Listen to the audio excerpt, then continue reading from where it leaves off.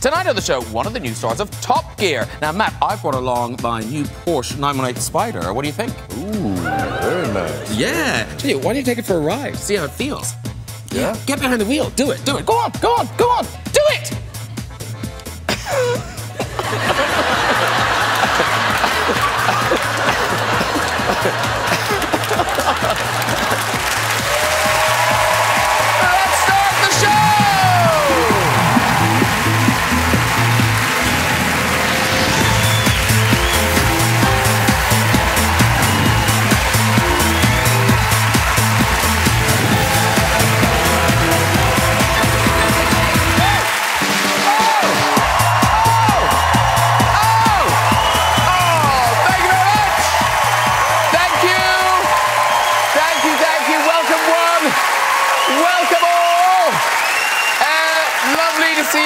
all. We've got some great guests for you tonight. Yes, Matt LeBlanc's here from the new revamped Top Gear. Yeah, very excited about that. I'm told you can look forward to, uh, you know, seeing all your favourite bits from the old Top Gear. Well, except from the casual racism and assaulting the producers. They've, they've binned that. Uh, we've also got one of the biggest stars of the hit Game of Thrones. Oh, yeah. Few throners in. She's not one. She was like, what? What's he talking about? Uh, Plus, later we'll have music from the wonderful Corinne Bailey Rae. Yeah, we love her. She's very good. All right, let's get some guests on. First up, this man's breakout role in The History Boys took him from the West End to the big screen, where he starred in Mamma Mia, The Need for Speed, and now the epic Warcraft The Beginning. It is Dominic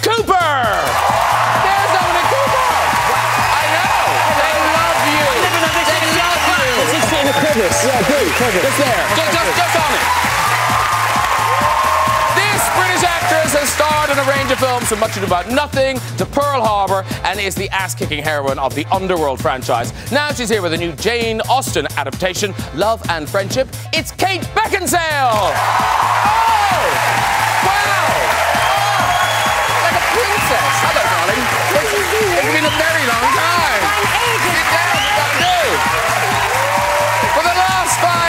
This actress has enjoyed worldwide fame as Khaleesi in the hit TV series Game of Thrones. Now she's back at the big screen in the new romantic weepy Me Before You. Sweet mother of dragons, it's Emilia Clarke!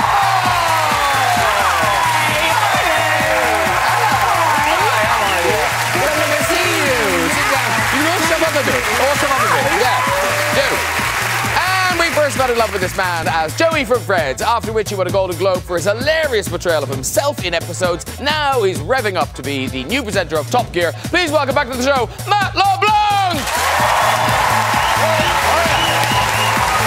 How you doing? Nice to see you. I actually just said that. I, I know.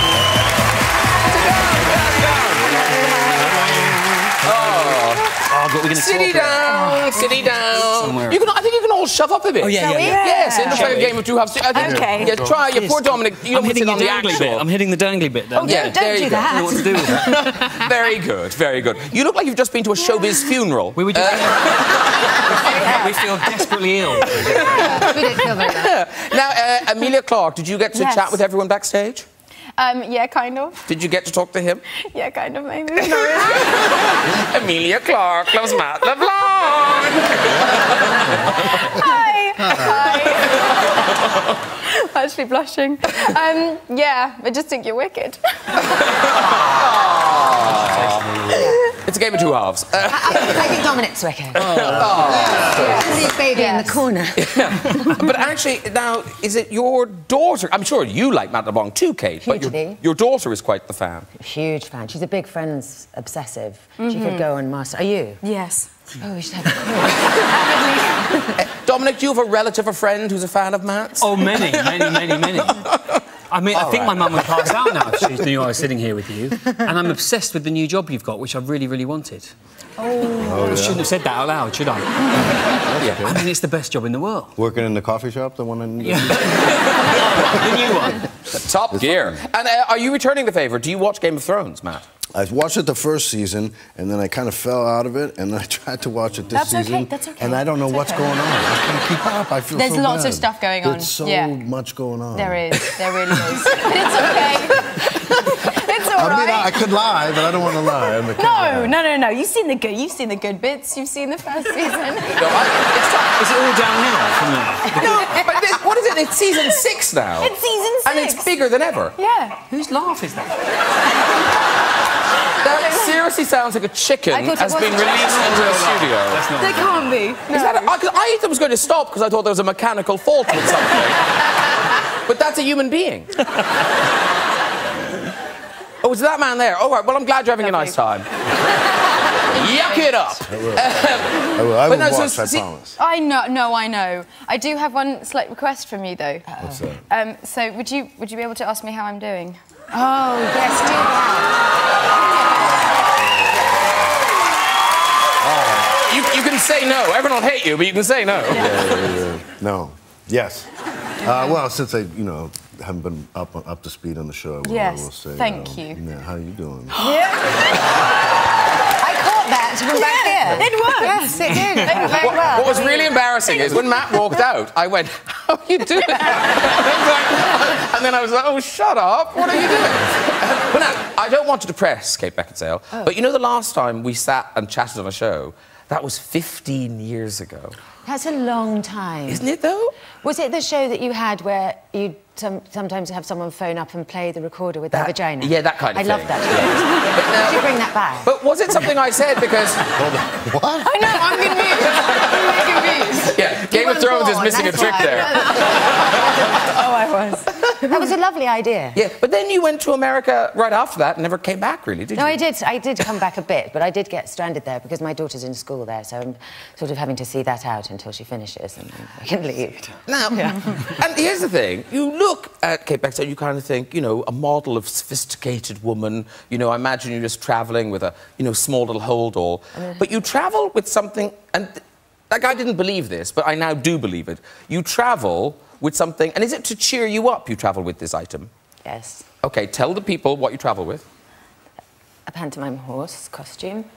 Now she's not making this up. You've sent this pic. You actually. Tra- so this. Me too. Travel. Is it both halves? but Yes, it's a two-man. It's a two-man suit. Do you find a friend? You always have Yes, to you find have a to. You friend. can't do it on your own. That's bleak. So, uh, on, what occasions do you kind of go, okay, time for the horse? Well, I mean, if you're on a film and you're like in Eastern Europe and you thought your friend was going to come and visit you and they're like, oh, sorry, I can't, my kid's got tonsillitis or whatever it is, and you think, shit, what am I going to do? I could have a pop into the horse and a bit of a canter up and down the hotel corridor. Which end do you prefer? well, it's height dependent. There's horse rules. So the tallest person... No, there are. Uh, you, the tallest person has to be the back. So I that would they have can the have other a- way round. Well, no. Um, no, because then you can have a long horse's back. Of Oh, a long course. it won't, it won't right. look Oh, you're- stunted. Yeah, Yes. you don't want a see. lumpy, short No, person in the back. No. And now you've sent us some pictures. Is this your earliest horse? That was my first horse. Yeah. That- but that was a rental. That was my first time I ever rented one. You paid for that. Yes. It, it looks like you've made it out of some car seat covers. Well, they're not very realistic. they're, not, they're not the most realistic, but yes, no, I paid for that. And you had to have it for three days. It was a bit oppressive. We had to keep getting in it. So then, then did you purchase this next one? No, that was also a rental. That's my daughter looking terrified. Look, is that... And is mommy front or back of that horse? I think that's back. You're I, back, I think I'm yeah. back Are they there. good fun to be in? Oh, I've got one. I've got it in the hotel. We must have a go. Do you want to? Yes, I I'd do. love to. I have actually got it here. And I think we've then got your latest. Is this the one you brought with you? No, that's actually me and Michael Sheen. He's in the rabbit suit. I can't remember why we were doing that at a bus stop, but Or, or indeed anywhere. This sounds so crazy. Am I the only one that thinks it's crazy? I, I love it. it's crazy. do you Are you a crazy person? Yeah, I want want to to get have a go in in it? Yeah. I can make that happen. Let's go. No, I have to say, you're so smiley, and you do look like an ad for Panto Horse Therapy. You know, it's like It does feeling really blue. work. it does really work. The Get point is, horse. most people haven't tried it, so they don't know. Yeah. You know. But if you're at your hotel, walking down the hall, and you see a, a horse costume Right. coming the other way, in what world do you just say, I bet that's Kate Beckinsale?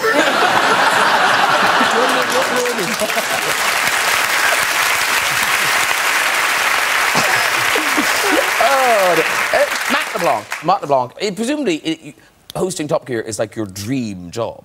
Yeah, it's kind of like this it's uh, a lot bigger than I thought it was. You know, when I when I first did the show, it was fun, and then now being a part of it, I mean, it is a, just a international juggernaut of a show. It's But it's massive. sold in, uh, what, 170 territories or countries or something? I don't know. Yeah, It's so it premieres this Sunday, and by Wednesday it'll be in 83 countries on six continents already. By Wednesday, Wow. it's uh, it's just huge. And, and, like, how did this happen? Did you call them? Did they call you? Did you bump into someone in a lift? How, how does it happen? Well, I did, I did it the first time to promote episodes and did the around the track in the car, and that went pretty good. well, you were the fastest ever, aren't you? Are you still the fastest ever? Wow. Yeah. No. And then um, they did this thing called Top Gear: The Races, which was kind of like a greatest hits of Top Gear, and I kind of introduced the clips, shot these little video wraparounds, and that went good. And then Chris was already on board at that point, and they approached me and asked if I would uh, like to be a part of it, and I wasn't doing anything else. I said, yeah. and it's been a lot of fun. Chris and I get along good. It's really fun. Yeah, and you are a proper petrol head. I mean, you do love cars and engines and all that stuff. Yeah, you know, it's funny. Like, i I'm one of those people. I subscribe to like about 15 different car magazines. You go to my house on the coffee table, just stacked up with forever. I've been doing that. And someone just said to me the other day, "Finally, it's paying off." All those. Who knew? Yeah, you were preparing for this job your whole Yeah, life. I'm- and the first episode, part of it is a kind of Britain versus America challenge. Yes, that's right. Yeah. So, what, what's the challenge? Okay, so do you know the Reliant Robin? Remember that car? Oh, that yeah, oh, three- oh, there they are. Yeah, well, these are Reliant Rialtos, the upgraded one, which I don't know what they changed. It's still a, not a very nice car. I've never heard of a Rialto. Anyone? The Reliant Robin, you've heard of. Yeah, Robin. It was yeah. made famous by Only Fools and Horses, Yeah. really, wasn't it? it was a yeah, he did a little van, didn't he? Yeah. No, we had one, one of those, didn't he? But it was a van back. A van on it. version. What do they have? Oh, they've got an open roof. Well, they've cut the roofs Oh, it's off of this because it was going to be raining, so they figured it better to have no roof. Yes. it's Britain. So we have to drive from London to Blackpool in those. Nice. And my, mine broke down about 10 times. At the worst one. And I think Chris had it fixed because it's USA versus the UK, and we're in English cars. His is painted like the Union Jack, mine stars and stripes, and mine breaks down repeatedly. His ran like a clock. Go figure. And had Matt LeBlanc ever been to Blackpool before? No, he hadn't. Will Matt LeBlanc be returning? Uh, he might.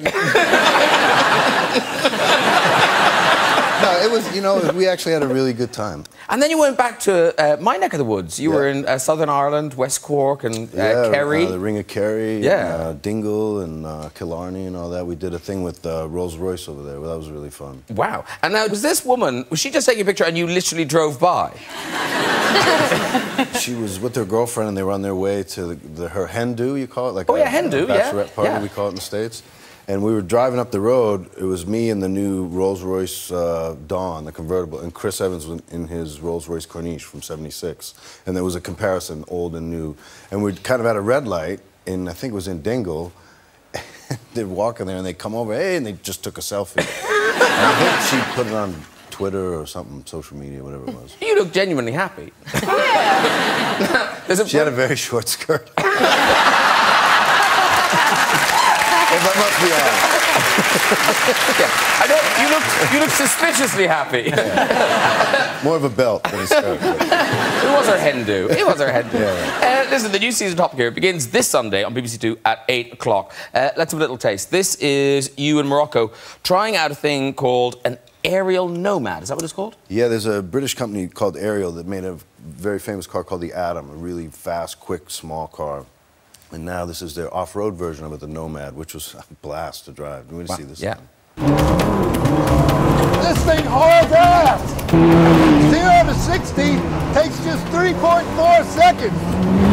And unless your other car is a super bike or a cheetah with a saddle on it, that ought to be enough. This is not off-roading. This is low-level flight.